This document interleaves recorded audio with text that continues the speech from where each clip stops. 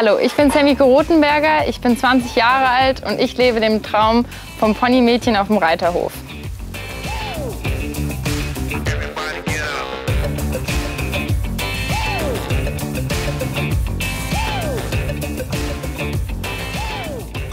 Hallo zurück auf dem sehr, sehr schönen Erlenhof von Familie Rothenberger. Sammy, schön, dass wir noch mal hier sind. Sag mal, äh, letztes Mal hast du uns das Wellness Hotel, so nenne ich das jetzt einfach mal für eure Pferde hier gezeigt. Dieses Mal haben wir hier die Seniorenresidenzbewohner. Genau. Wen hast du denn jetzt hier mitgebracht? Genau, hier neben uns steht der Dino P. Der ist jetzt 28 Jahre alt und mit meiner Schwester hoch erfolgreich gewesen im internationalen Ponysport. Und der genießt jetzt hier mit seinen anderen zwei Rentnerkumpels sein Rentnerleben und ist topfit. Da hinten haben wir noch einen ganz besonderen stehen. Genau. Aller, allererstes EM-Pony. Richtig. Wer ist das? Das hier ist Domino Dancing. Ähm, ja, der ist jetzt 27 Jahre jung, sage ich mal. Und ähm, der der ist noch topfit und macht einen Heidenspaß.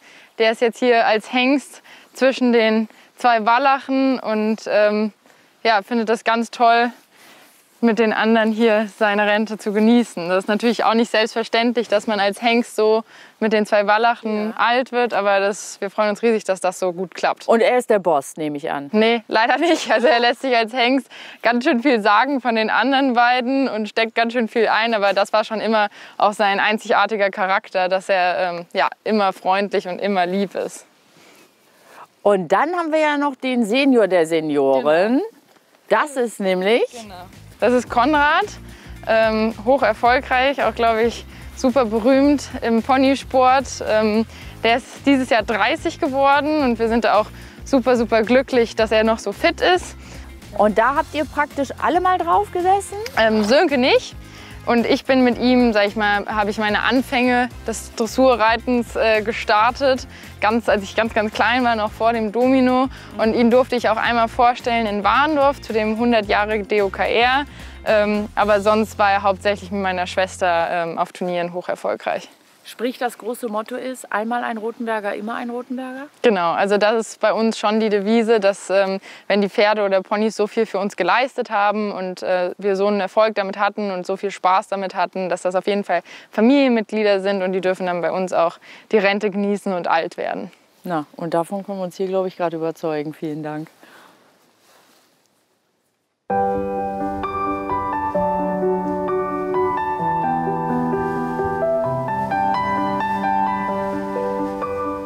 Sammy, von den älteren Herrschaften, jetzt kommen wir mal zu den aller, allerjüngsten. Ihr zieht ja auch selber, ihr habt auch eigene Fohlen. Was für Fohlen habt ihr dieses Jahr? Genau, wir haben jetzt hier auf dem Hof sieben Fohlen stehen. Und da sind hauptsächlich die Dressurfohlen von ehemaligen Sportpferden von uns, zum Beispiel von der Wolke 7 von meiner Schwester, das Grand Prix-Pferd. Und es macht unheimlich viel Spaß, um die dann hier aufwachsen zu sehen und ähm, wie die so vom Charakter sind. Ihr macht ja was mit den Fohlen, das habe ich ganz selten gesehen bisher. Die werden ganz, ganz früh sowieso an Menschen gewöhnt, ist klar, aber auch an Decke, Plane und so weiter. Da habt ihr einen Herrn, der da äh, ab und zu kommt. Erzähl uns mal davon. Genau, also wir haben einen Familienfreund, der ist Klaus.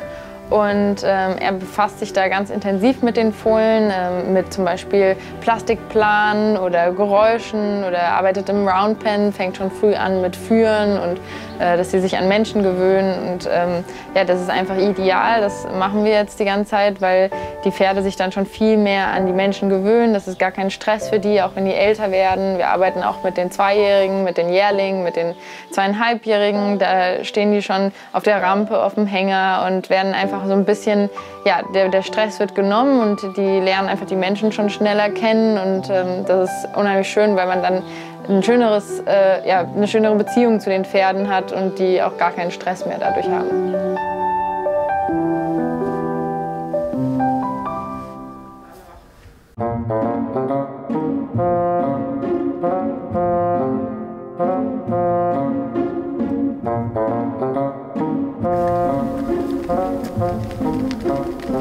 Jetzt kommen wir mal von der Zucht und Aufzucht von Pferden Du bist auch Aufzüchterin von zwei Mitbewohnern mal in deiner Wohnung gewesen. Die hast du auch heute noch hier rumlaufen.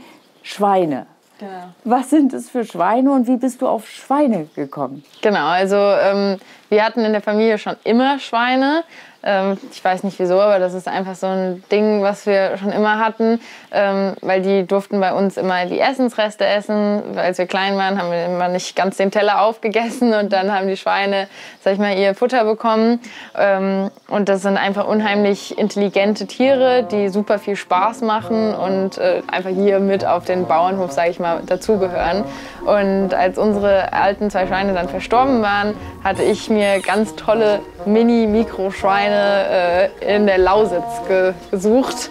Ähm, und sind wir dann dahin gefahren, Sönke und ich, und haben diese zwei Schweinchen, ähm, Nala und Pumba, gekauft und geholt, die ich mir dann in meiner Wohnung großgezogen habe. Und dann irgendwann haben meine Eltern gesagt, so Sammy, jetzt langsam mit den Schweinen in der Wohnung, jetzt wird es langsam mal Zeit, dass die auch mal rauskommen. Ähm, und dann haben wir hier ein Schweinegehege eingerichtet. Meine Mutter war dann so verliebt, dass wir gesagt haben, komm, direkt noch zwei und dann kam Hani und Nanni dazu und äh, ja, jetzt haben wir vier Minischweine.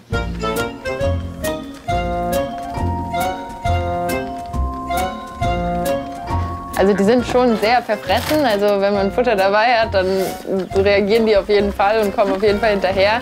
Aber die Nala und ähm, ja, der Pummer, die sind auf jeden Fall zwei, die schon ja, meine Stimme natürlich kennen und ähm, ja, bei mir groß geworden sind und deshalb auch sehr fixiert sind auf mich.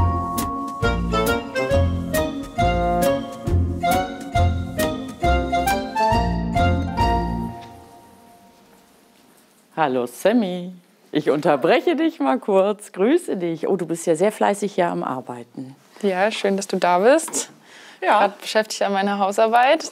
Oha, und läuft. Ja, läuft Gerade soweit vom ganz Pferd runter, wie viel hast du schon geritten? Schon drei Stück fertig und jetzt geht's an die Uni. Sehr gut. Sammy, wenn du nicht auf dem Pferd sitzt, ähm, studierst du. Du studierst Psychologie. Das ist, man könnte ja sagen, es hat ganz viel mit Reiten zu tun, weil so ein bisschen Psychologe muss man da, glaube ich, auch manchmal sein, sich in die Pferde reinfühlen. Aber sag uns einmal, wie bist du denn auf Psychologie gekommen? Ich glaube, Psychologie ist ähm, ein Fach oder ein Thema, was immer gebraucht wird äh, im Alltag und wie gesagt, wie du auch schon gesagt hast, beim Training oder ähm, ja, in jeder Lebenslage. Deswegen ist das, glaube ich, etwas, was auf jeden Fall nicht schadet. Das kann man immer gut gebrauchen. Und da ich mir da nach der Schule noch nicht ganz so sicher war, wo ich hin möchte, ähm, habe ich gedacht, das ist eine super Lösung und ähm, auch ein sehr anspruchsvolles Studium und das hat sehr viele Möglichkeiten für mich später. Psychologe, klar, was blitzt bei uns auf, ist immer so dieses Bild mit der roten Couch. Ist das das Ziel? Ähm, das könnte das Ziel sein, aber momentan, ich bin ja jetzt im vierten Semester, ähm, bin ich sehr interessiert an die Richtung der A und O. Das ist die Arbeits- und Organisationspsychologie. Und da geht es Richtung, ähm, dass man, ja, wie gesagt, in Organisationen hilft, da ein besseres Arbeitsklima hinzubekommen und ähm, was für Leute stellt man ein für den Job oder auch in die Richtung der pädagogischen Psychologie. Das geht dann Richtung Schule und ähm, Lernen und Lehren. Pädagogische Psychologie, da haben wir ja hier ein wunderbares Werk vor uns liegen. Äh, das hast du schon komplett durchgearbeitet, nehme ich an, oder was sagt uns dieser Schnipsel?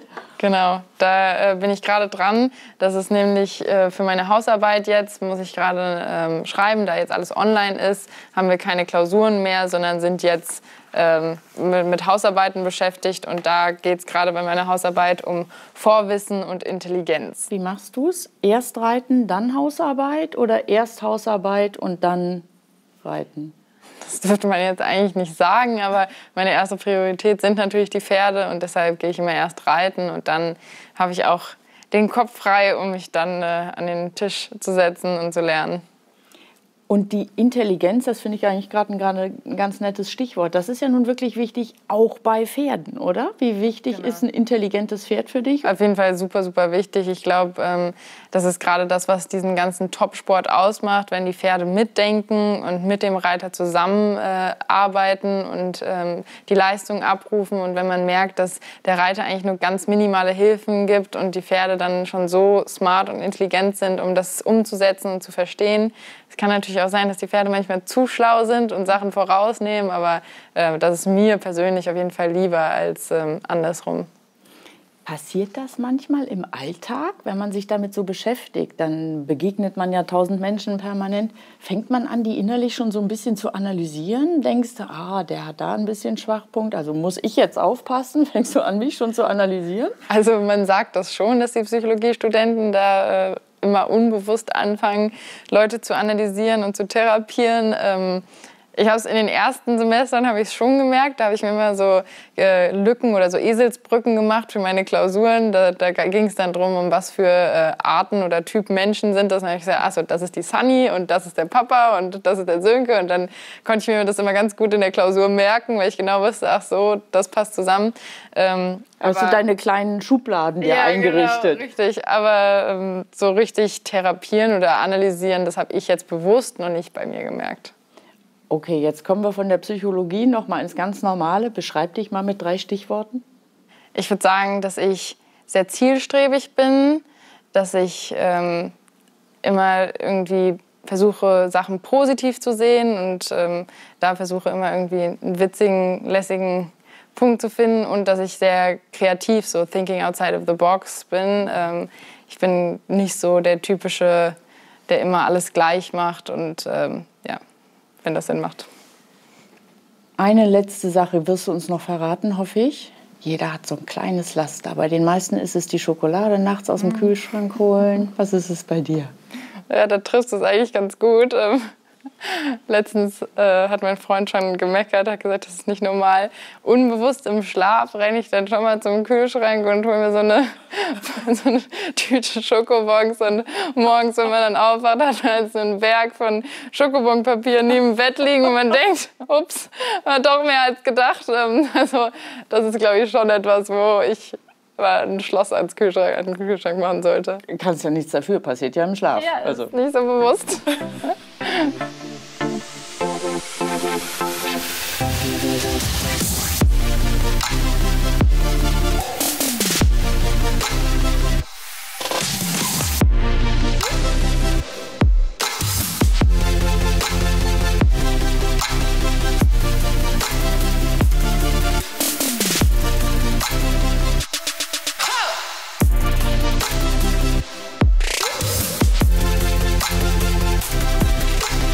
Für mich ist es generell in jedem, jeder Lage wichtig, dass man elegant aussieht und dass alles zusammenpasst. Und ähm, ich glaube, das ist auch im Dressursport wichtig, dass es elegant aussieht, nicht nur vom Reiterlichen her, sondern dass auch das ganze Outfit zusammenpasst. Und deshalb ähm, macht mir Mode auch im Alltag super viel Spaß.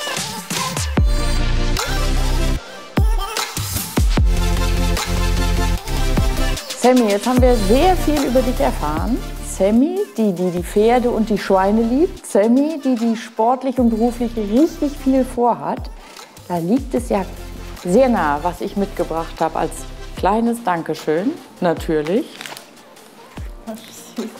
Ein paar Glücksschweinchen. Dankeschön. Sammy, vielen tausend Dank. Wir hatten einen irre Tag hier heute bei dir auf dem Erlenhof. Wirklich viel, viel, viel erlebt, viel gesehen. Tausend Dank dafür, dass wir Danke, hier zu Gast sein durften. Und das nächste Mal sind wir nämlich zu Gast bei Familie Tebbel. Das ist praktisch heute die totale Dressurfamilie und die Tebbles die totale Springfamilie. Da freuen wir uns drauf.